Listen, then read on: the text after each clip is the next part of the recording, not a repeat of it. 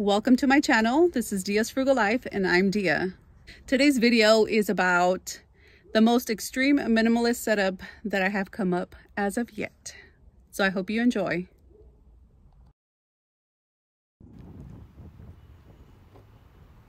As usual, I don't typically keep anything up in the front. I like it clear. I like out of sight, out of mind. I don't want anybody trying to break in for any reason.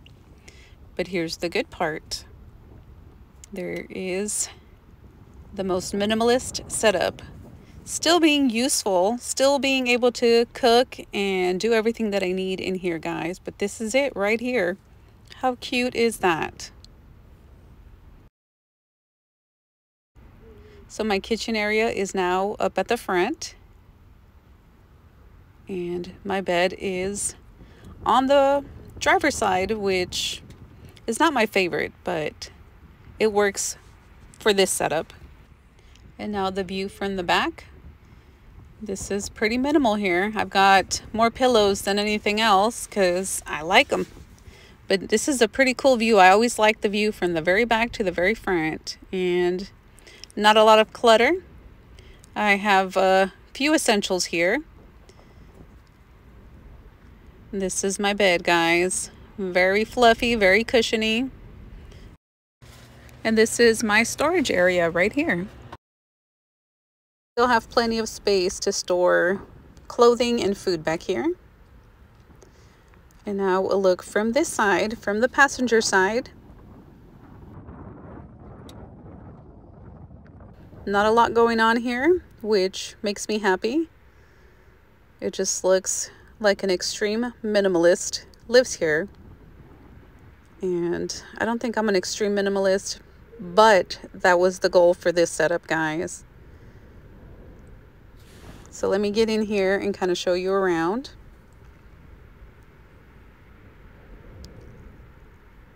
Tell me what y'all think about this one. Could you guys live this minimal? Would you need more things? So what I have here is my kitchenette. I ended up putting a bungee across here just if I need to hang any towels, have them air dry, hang something light, clothes. If I go to take a shower, the gym, whatever, if I need to hang anything that's damp, I will put it right there. I've got my trash can. Let's get closer here. I'll show you what I have. This is the Bluetti EB3A. It's 600 watts. I have the cords for that there. I've got a couple microfiber towels that are just hanging on this bungee. And then I've got two shelves right here. Which the first one at the bottom has my my bowl which I can eat from and I can store food or whatever I need to. One bowl. I opted for glass with a lid. I opted for this one because it is four cups. It's large enough for just about everything that I eat. If I'm able to get a hold of a microwave, I can do that as well. And these are mason jars, which I have food in here and I ended up purchasing these koozie type of material. I don't know what they're called, but that way they're not banging on each other. So this, I'm just storing food. Right here, I have oats. This one, I don't have anything. This one here, I've got peanut butter and jellies, little like snack packs.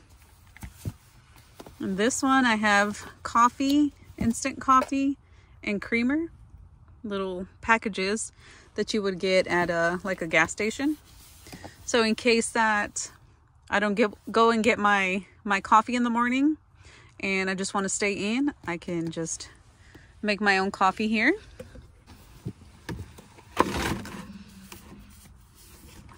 And one other thing I tried to stand these up but it's too short here. I can make this fit right here and then I can stand them up but then I don't have a spot for for the battery so I just I just lay these down and put this in here Anyway, and then hold it, it holds really well with the bungees. And this top one here, take this one out. So what I have in this one is some like paper plates, extra plasticware, just in case I don't feel like using um, that container and I don't feel like washing. I also have my spork in here. This is my titanium metally spork that I will use. I just had these already, so I'm using them. Normally, I'll just use my spork and I'll have either that Pyrex container or a Rubbermaid container. And then, of course, this is a Dezin hot pot. It is two liters, so it's big enough to, to cook just about anything that I typically eat. It's pretty big, bigger than my hand. So a lot can fit in here. I have an insulated tumbler, which you can have cold drinks, hot drinks, whatever you want. I've got the power cord that goes to the, the Dezin hot pot and the spatula that it came with. I've got a knife. I've got some silicone and plastic spoons that I can also use, depends on what I'm cooking. I've got a cutting board and I've got a can opener.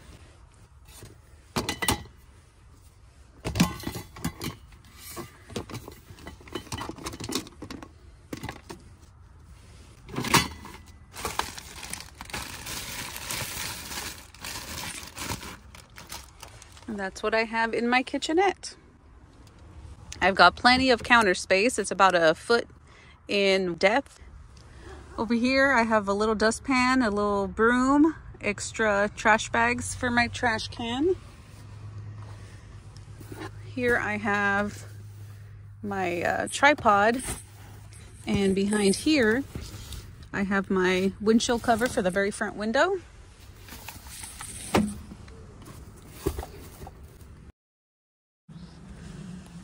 And then as far as my bed, I have a few blankets that I can layer. I've got a very thin blanket that if it's not really cold, I can just put that one over. Then this is a more puffy blanket. And then of course I have my sleeping bag, which keeps me really, really warm. And if it's extremely cold, I will put both of these blankets inside the sleeping bag and zip it up and I get really toasty.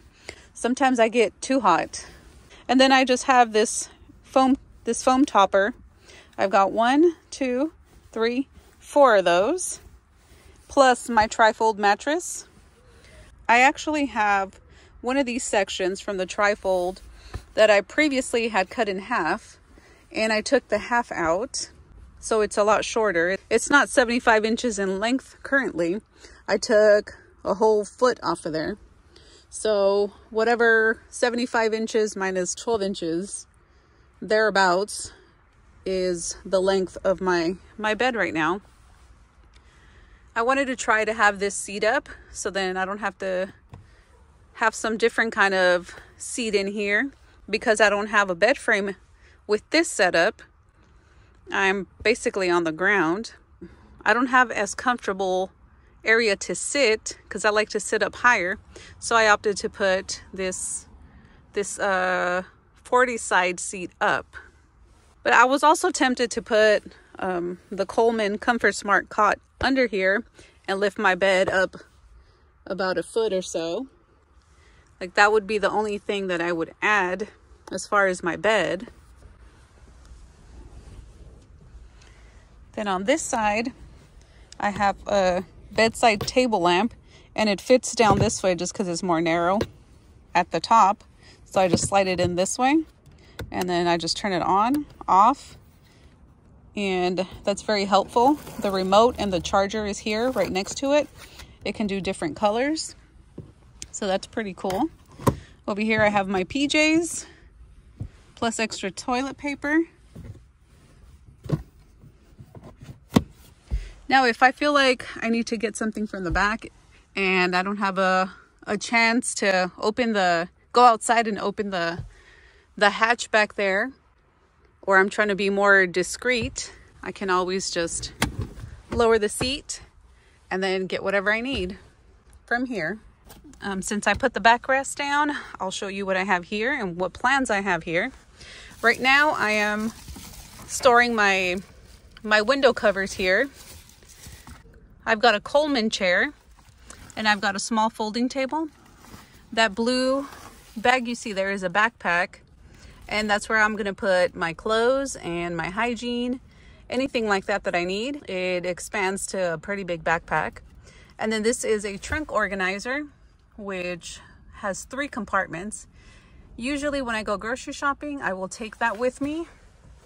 Or if I don't take it with me, I will put it down here and then I'll set the bags of groceries and just stack them in those three. And then when I get a chance to organize, then I organize it, set it inside my fridge or put it wherever I need to put it. But that way they don't roll everywhere when I'm driving. So I'll set them in that.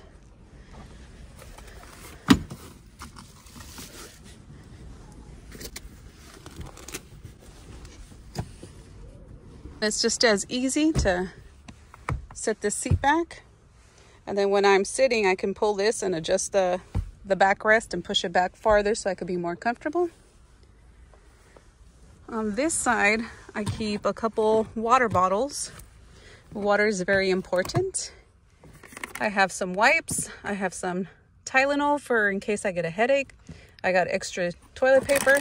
I even have some USB plugs right here. And back here, I have super important these uh, jumper cables.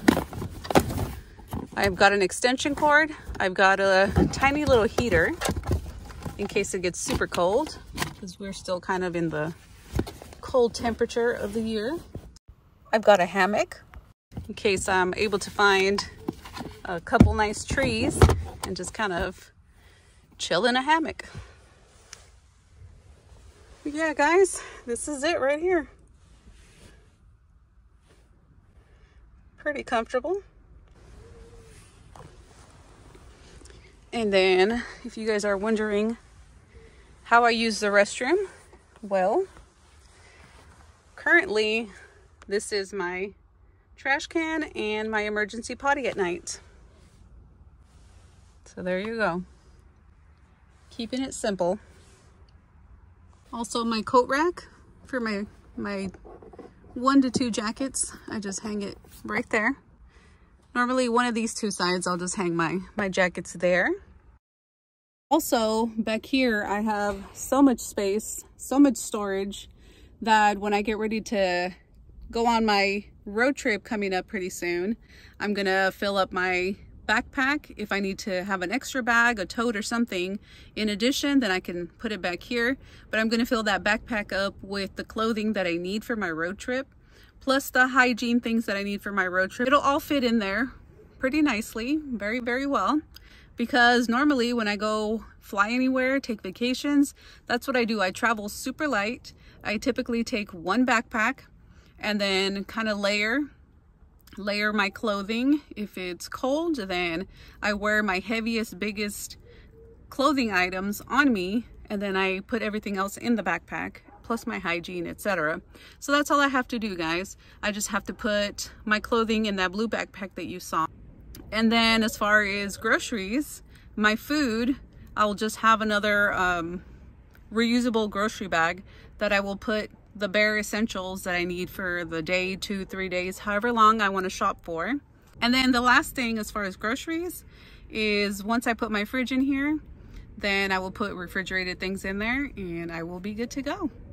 But yeah, guys, that's it. This is the most extreme minimalist setup that I have come up with as of yet. We shall see if there if there's a future video coming up where I come up with even more of a minimalist setup, but I don't think I can top this as of now. if I do, I will show it in the future.